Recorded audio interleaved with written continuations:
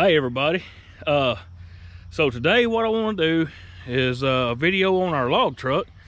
This is a video I've had a lot of requests for. I hope I can cover it thoroughly to where all of you can understand it. Uh, these old side loaders were designed specifically for animal loggers, horses, mules, and whatnot.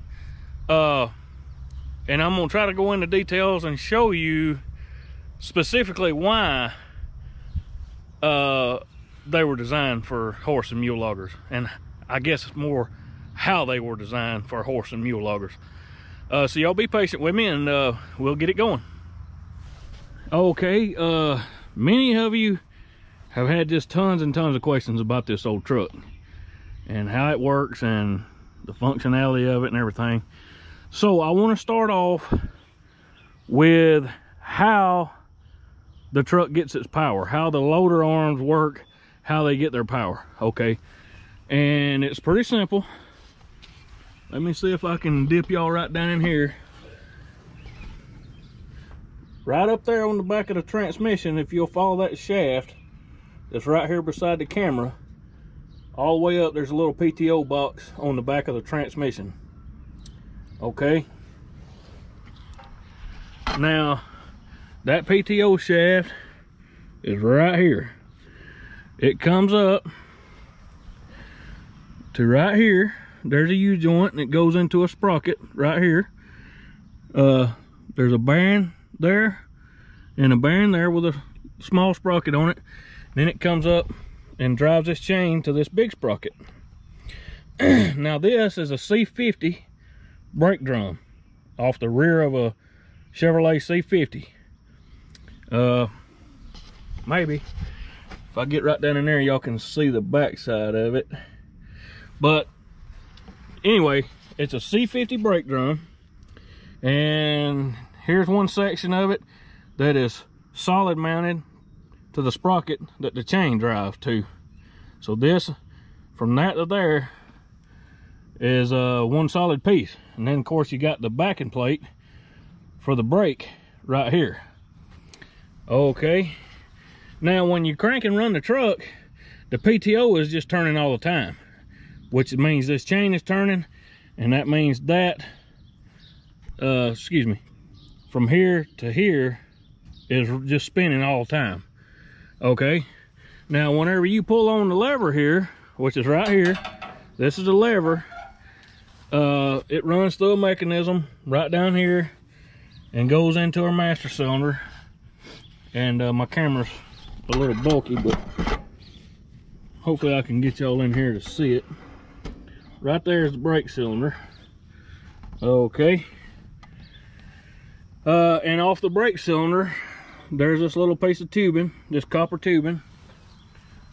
It goes right up here through a swivel fitting and these swivel fittings are a little getting a little harder to find because it has to work under pressure. In other words you know, uh, this shaft is turning that it's connected to right here. This shaft is turning all the time. Uh, or excuse me, not all the time. I'm sorry, I told you wrong. It turns whenever you actuate the brake handle. It locks, it locks the uh, backing plate up right, right here with the drum, and then the whole shaft rotates. Which right here is your front carrier bearing for your shaft and there's your shaft right there. Like i say it goes the the brake fluid goes in right here. And then there's another brake line. It's on the other side but there's a brake line that comes out of the side of the shaft. That's right over in there if y'all can see it. And that's kind of hard to see i know. Tell you what i'll just take you around to the other side and show you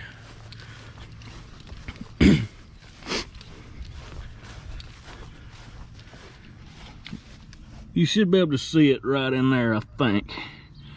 Right here. Can y'all see my finger? Uh right there. It comes out of the shaft right there. And then it circles around in there and goes into the backing plate. Which what that does is it actuates the uh it locks the brakes up uh, the drum brakes which serve as a clutch more so. It basically serves as a clutch. And when it locks it up, that shaft, which goes all the way down the main frame of the loader bed, this is your main shaft right here. And right up under there is a winch drum. That's for your forward loader fork. See it right under there? And then there comes your shaft down through the middle of the bed. And then right back here is your rear winch drum. All right. You got a cable that runs through here. See right here? See where your cable comes out? It comes through that pulley and it goes up that, that loader arm, that standard, and it goes through another pulley right up there. Okay. And the front does the same thing. See that cable under there? All right. It comes through right here. See it? And it goes up and there's a pulley right there. And there's grease fittings all over this thing. Okay. And then basically your cable's connected to your loader fork there for your front and loader fork there for your rear. And I'm going to show y'all in just a minute uh, how this thing works, but I want to do it all at one time. I want to explain to you the side loader first, and then I'll let y'all see it in operation so you can get a better idea of what's going on. Uh, there's a brace that goes in between right here. It's a piece of two inch schedule 80 pipe. It needs to be pretty stout. And what that does, uh, it keeps your loader forks operating together.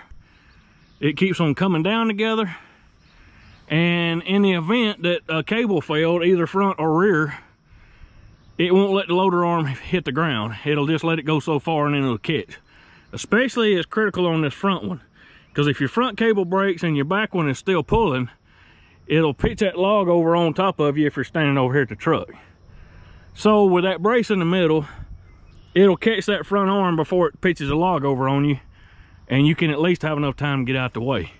Now I've never known that to be a problem, but I can see where this is a good safety deal.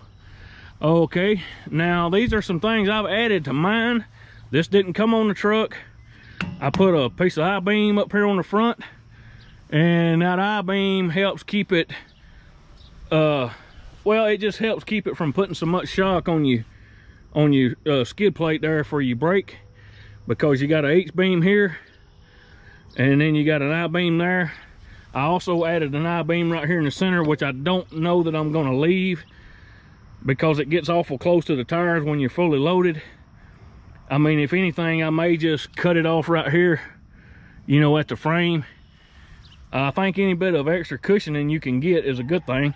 And speaking of cushioning in between the frame of the truck and the frame of the loader I've got uh, one inch white oak uh, boards in between it to help cushion it. And then of course our loader is mounted with big U-bolts. I've got big three quarter inch U-bolts on all the corners. Uh, here's another thing I added. These right here, which is just a C-channel. It's upside down C-channel. I had to notch it out right here for my shaft.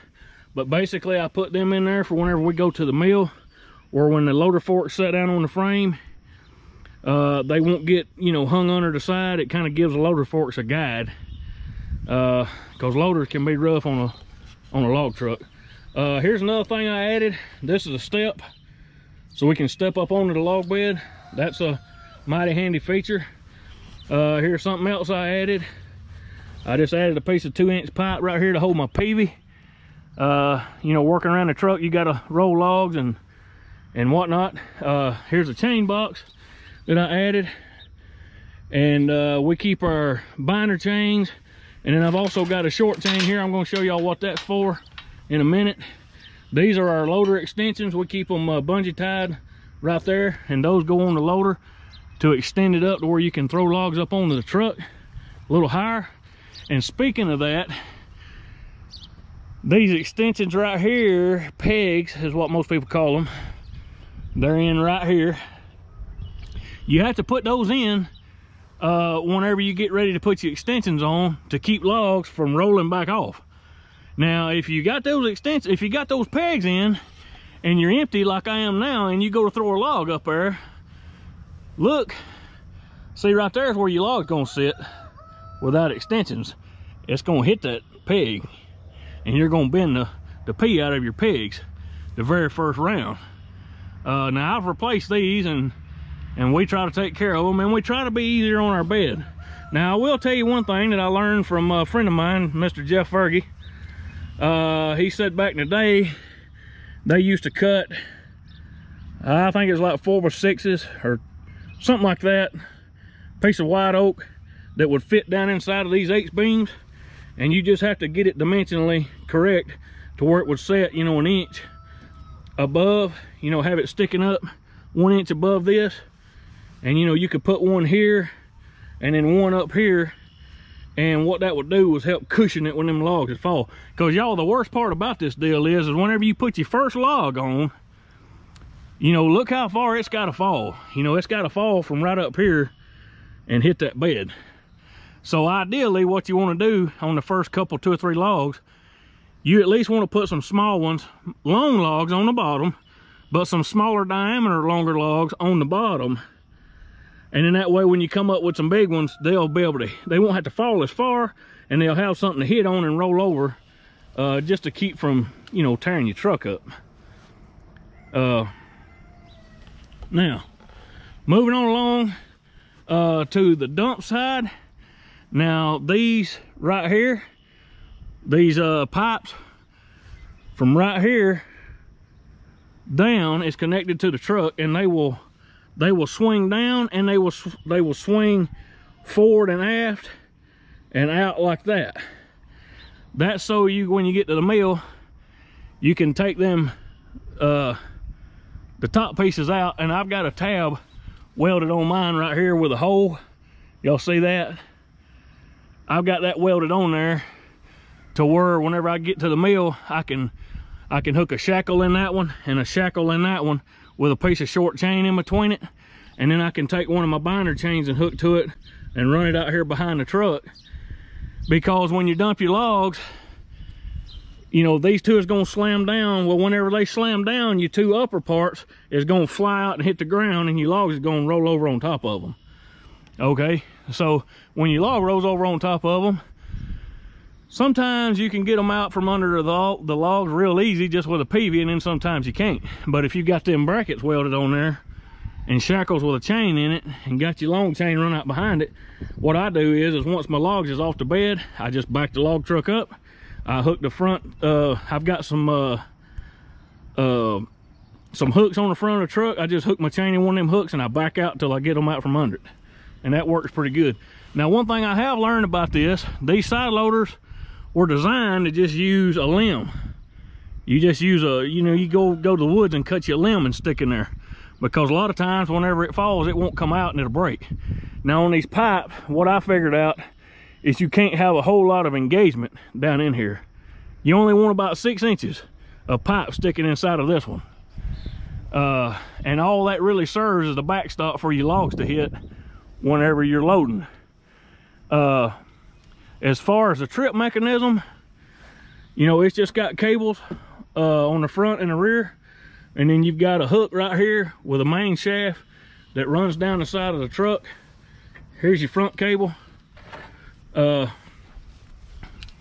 and it's got a hook and these hooks like i say this shaft runs down here and uh, those hooks go together at the same exact time.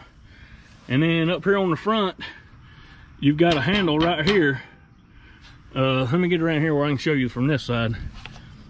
That handle is locked right there. See that tab, how it locks? And then it comes all the way down here. Whenever you, and, and I'm gonna show you all this lock right quick. Let me just walk around here show you all that so you'll understand that lock.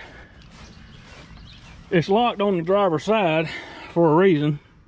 But basically, you take this right here, you slide it up, and see it comes out and then you can rotate this up like so and it will release that handle over here on this other side and when you do that Uh, and of course, you got to have logs on the bed.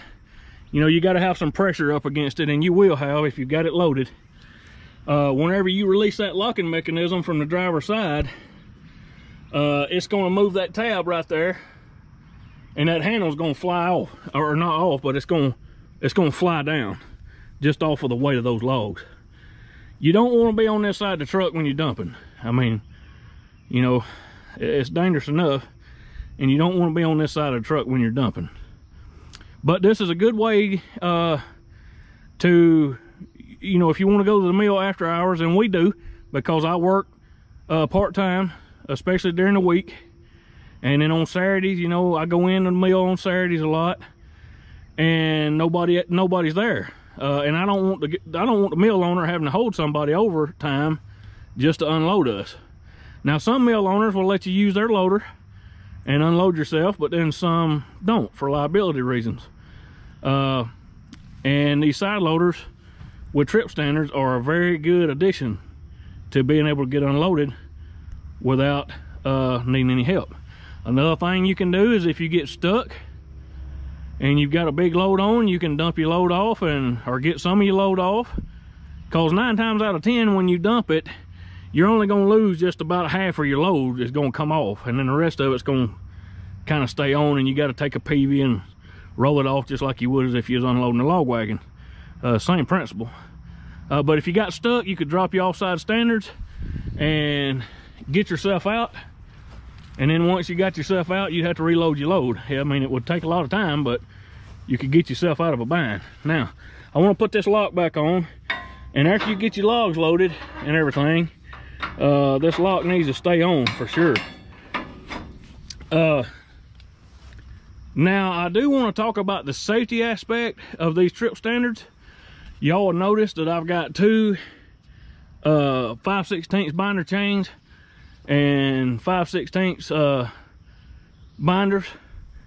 The way we bind our load is we go from the truck frame up around this and then up over the load and then around and down to the back of the frame on the front and on the rear. So in other words, what we've got here is we've captured this and we've captured that and it is tied into the frame and bound down.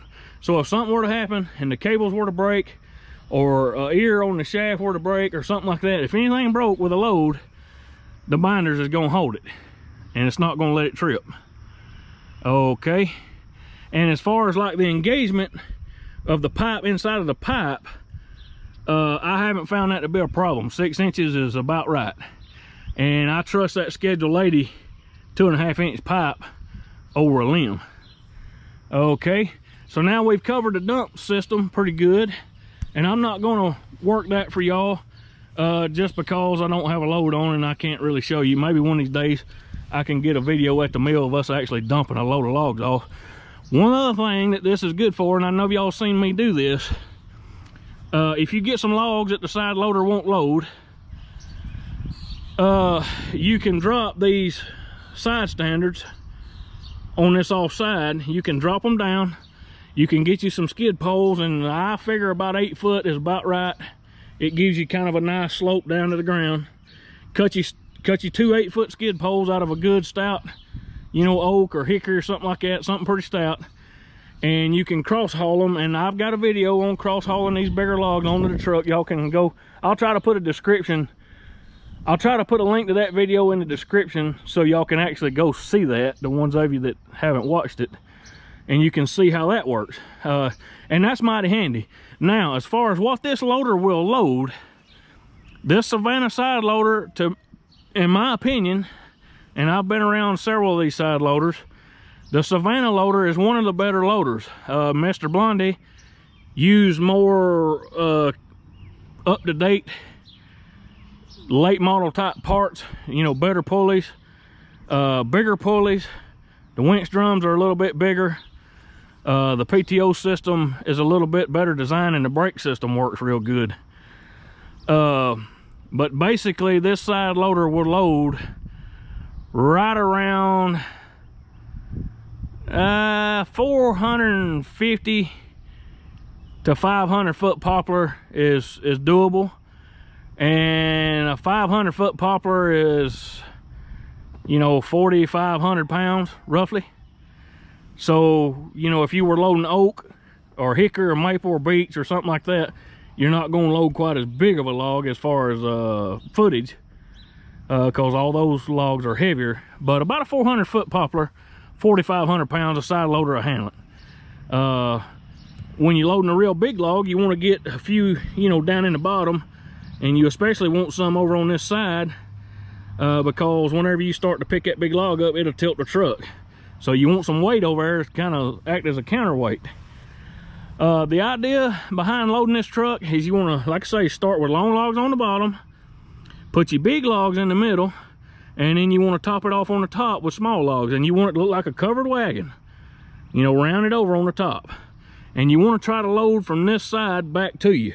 You want to throw the logs over here work your way back and then when you get done you want a covered wagon design up on top and depending on what kind of logs you're hauling you know poplar basswood sassafras uh, cottonwood pine you know you can get a real big load on it you know uh, it'll haul 1500 feet-ish 1500-ish feet of poplar uh, when you're hauling oak on this particular truck and this is a chevrolet c70 88 model uh, we can get roughly seven tons on it and still be in our uh, weight ratings for our tags. The truck will gross a little more than what the tag is rated for, but we're staying at 26,000 on our tag just because here in Tennessee, 26,000 is a cutoff point for CDL licenses. If you go over 26,000 pounds, you got to have a CDL license if you're hauling commercial. Now, if you're hauling under a farm uh, tag, you don't have to have it. Uh, but that can be kind of aggravating sometimes to explain to a trooper or anybody else that wants to know DOT wise if you're hauling logs for hire or if you're hauling logs for yourself. Uh, that can get to be sort of complicated. So we stay at 26,000. This is a single axle truck, uh, 26,000 pounds, which is roughly, the truck weighs with the bed and everything on it like we've got it, is roughly 13,000 pounds. So we can get roughly 13 more thousand and stay at our, uh, at our gross for our tag. So right at seven tons. You know, uh, the heavier type hardwoods is gonna be 14 pounds a foot. Your lighter uh, type hardwoods and lighter wood is gonna be around nine to 10 pounds a foot. So you can do the math on that to figure out how much footage that you think you can haul on a single axle side loader truck. Uh, like I said, this is an 88 model Chevrolet C70. It's got a five speed transmission with a 427 big block Chevrolet engine. Uh, it's a tall deck engine. And as long as you stay within the ratings of this truck, it does pretty good performance-wise. It, it hauls a load pretty good.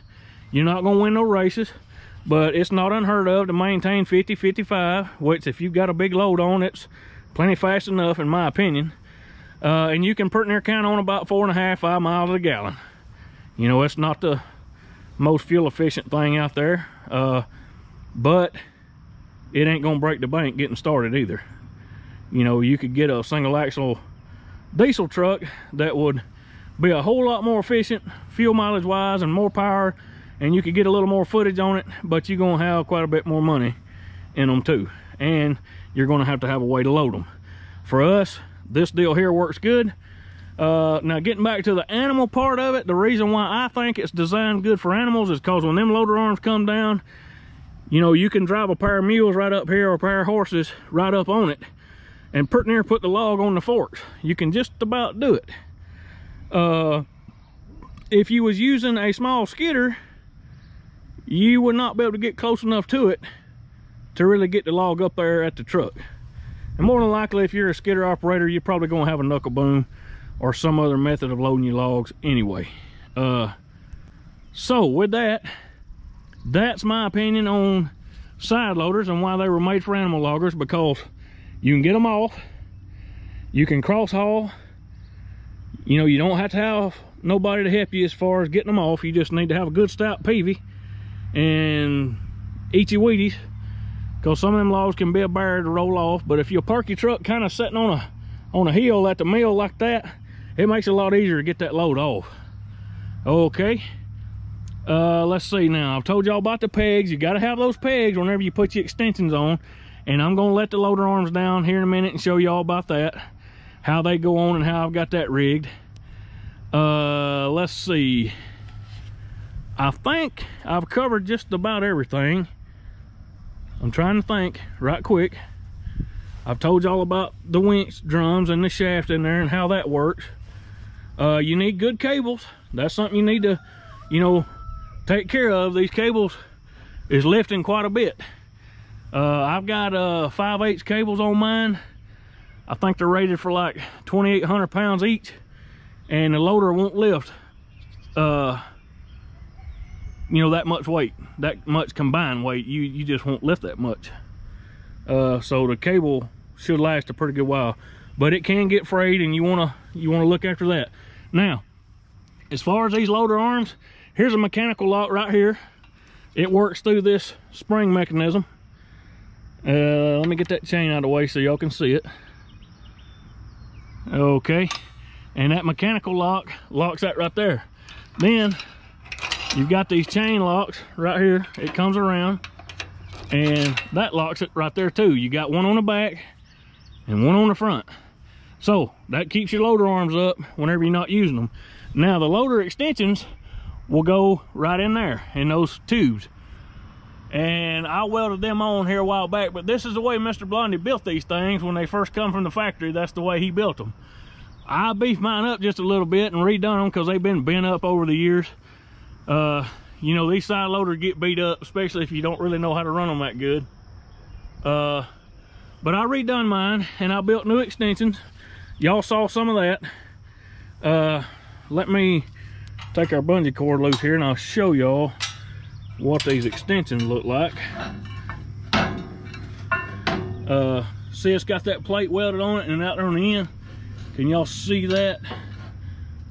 See how it's kind of curved up? That's so a log can sit in it. Now one thing I've got to do, I've got to take a grinder and I've got to grind that down and kind of round it because whenever you try to turn a log on it, it will try to crawl up on top of it. So me and Skylar are gonna have to, we're gonna have to take the grinder and sort of knock that down. But I keep my extensions right here, just like that. And then I take this bungee cord and I just wrap it around there like that. And I just kind of got it rigged there. Uh, that's how I keep that. I built this little chain box. Uh, it's got expanded metal on the bottom so water can go through.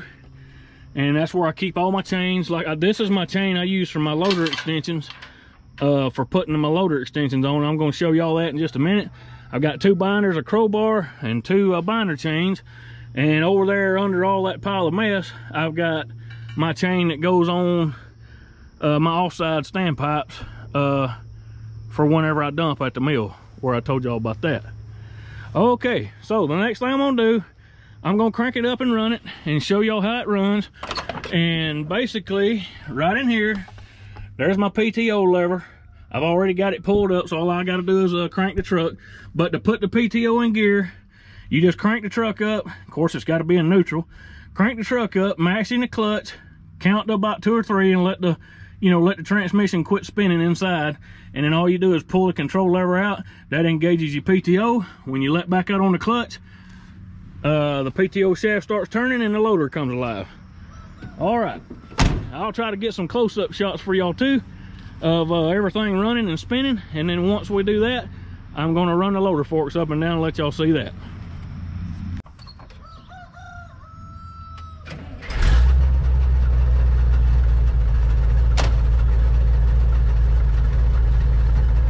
Now one thing we gotta do y'all, uh, before we get going here, I've gotta go unlock the, the forks basically you just take this chain off, let it hang, and then take this right here.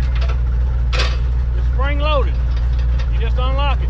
It won't let it come loose here, but it'll unlock it here.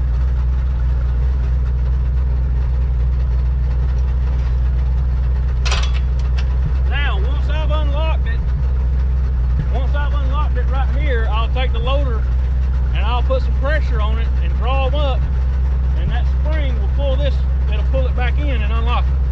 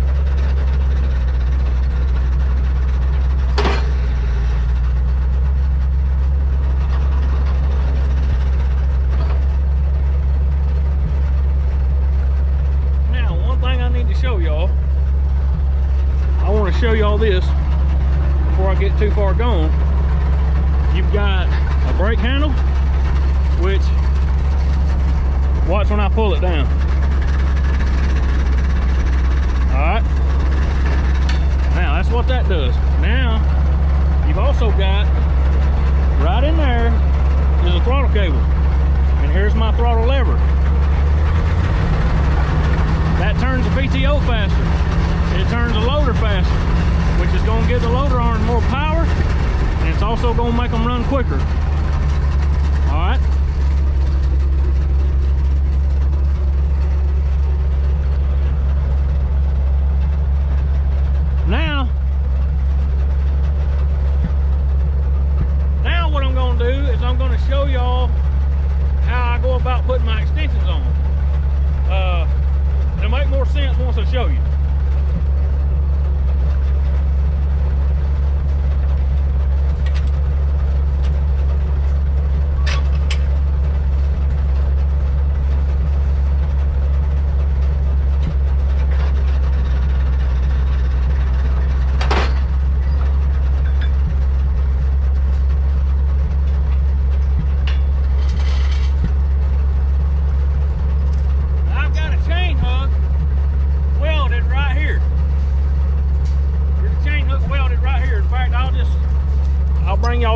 show you.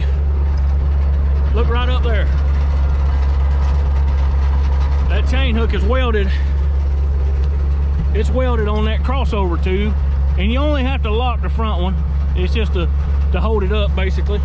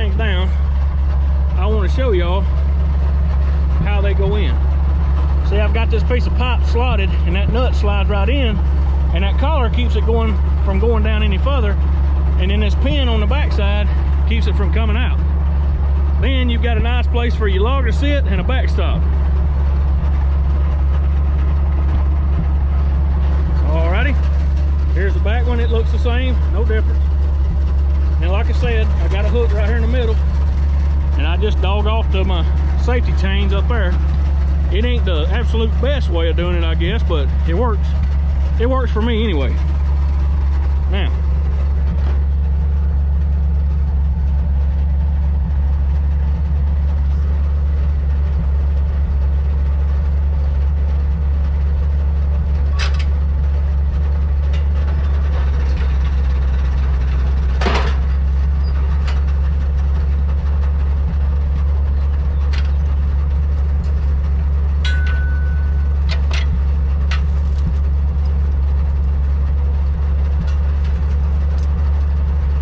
Next thing we gotta do, we gotta put the pegs back in. This will simulate already having your logs up to about right here. Okay? Then you gotta have your extensions to get them on up further. The next thing we need to do, when you put the extensions on, you gotta put your pegs back in.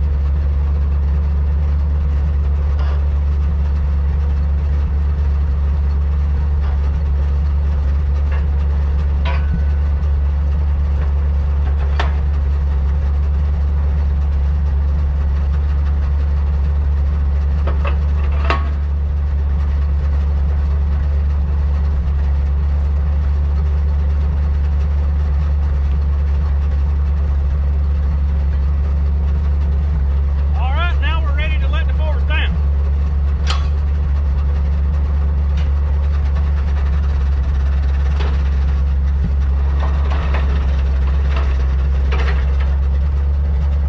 Alrighty.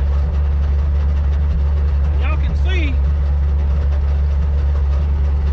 y'all can see right here from the side, when you put those extensions on, I think I've got it set to where we get two extra feet.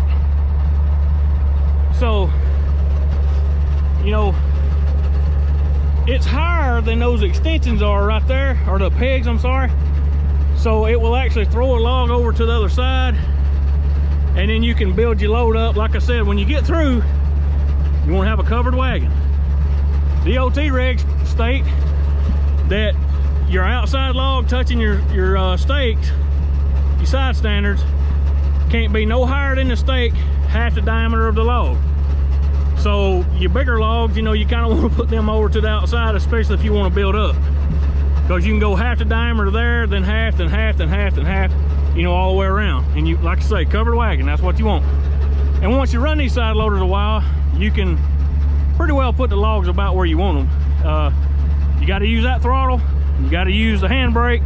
Together, it takes a little practice. Uh, you got a little bit more control with these extensions. You can really, you can really throw one with it. You can actually throw it, slap over the truck.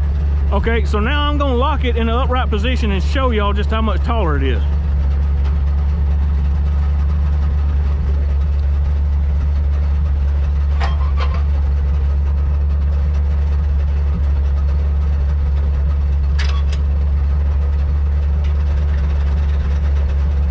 See, you can give it some gas.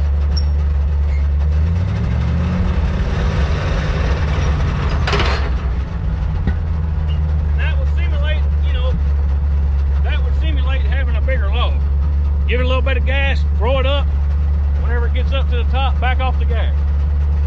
All right, let me show y'all how taller, how much taller it is. now I played with this for a while until I got my measurements just right. See how my backstop on my extensions is about eight inches above my peg. Now, when you get your load loaded, your load ain't gonna go no higher than that peg and no higher than that pipe extension over there. But your extension on your loader needs to be up above that so you can rope, so you can uh, get your covered wagon effect. If you want to throw it all the way over to the other side, because when you release it right here, it's gonna start going down. So where your backstop is needs to be above that peg. And uh, I think I've got mine about eight or 10 inches, something like that. I can't remember exactly. Uh, but these extensions work really, really good. They're easy to put on and off. They're not too heavy and they work really good. I, I like it. It's a good design. Now I'm gonna take them off and we're gonna shut the truck off and that'll conclude the video. And hopefully I've answered a lot of your questions. I know a lot of you had questions on these side loaders and hopefully uh, I've answered those questions. I am gonna show y'all while I've got it running. See how it's rotating in there? Now look at that front piece. See that brake back and it's not rotating. Now when you lock that brake up, it is gonna rotate. And that shaft goes through all the way to the back. Whenever you lock that shaft up, it locks those winch drums up and rolls everything together. Okay? Hopefully y'all can make sense of that.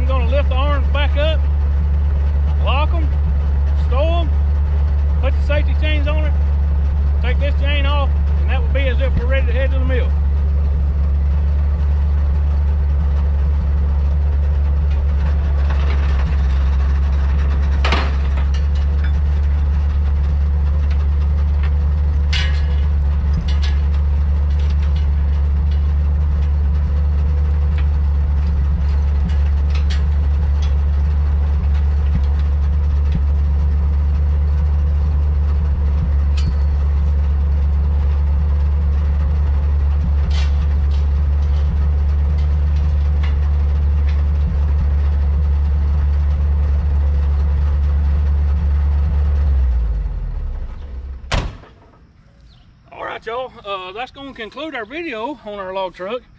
I hope now all of you understand uh, the mechanics and the theories behind these side loaders. And there's not very many of them left, y'all. Uh, there's a few here around in Tennessee that are still using side loaders, but not very many. They are handy. They're really handy, especially if you need a backup truck. Uh, we're gonna go to a skid steer eventually, one day. And when we do, I probably would like to go up to, you know, like a single axle international diesel. Something with, you know, it's got a little more power and a little better fuel mileage whatnot. But all that costs money too, and you gotta figure that into your operation. But I can promise you one thing, this old girl right here, she'll probably be a part of Odom's mule logging as long as I am. Just because it's a, it's just a good truck. It's, it's, it's simple. It's real simple. Uh, let me see if I missed anything.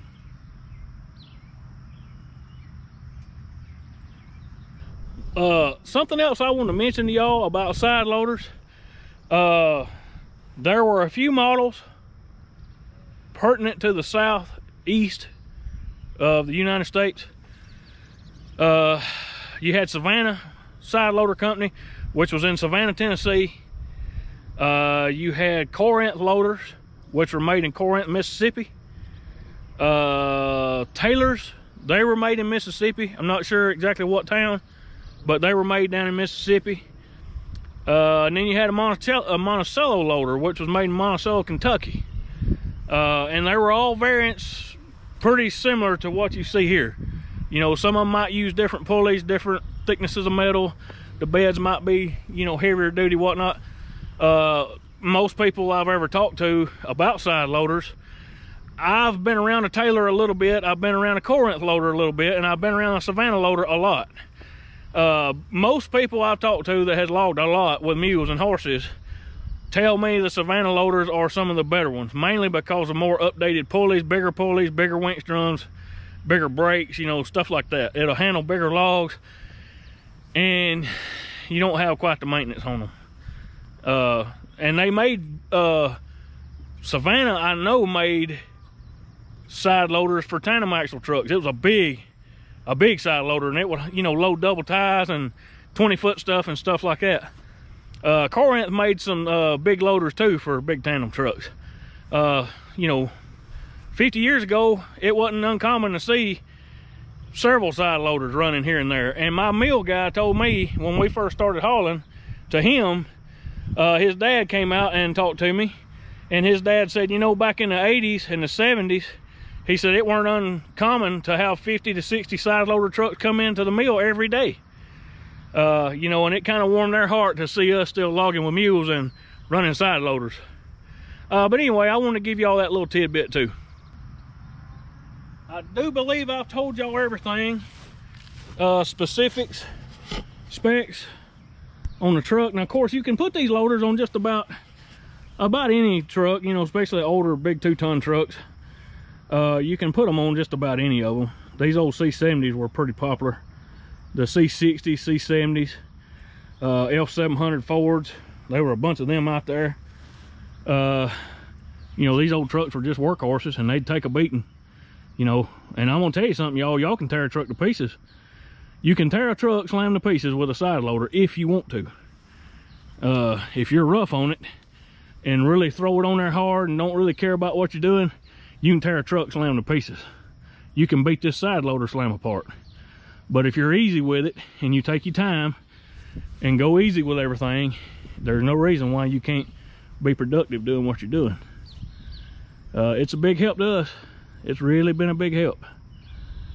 Uh, it ain't fast and it ain't pretty, but it gets logs to the mill. And that's what matters. She's putting a little money in the bank for us and we're not breaking the bank in the process of trying to do it.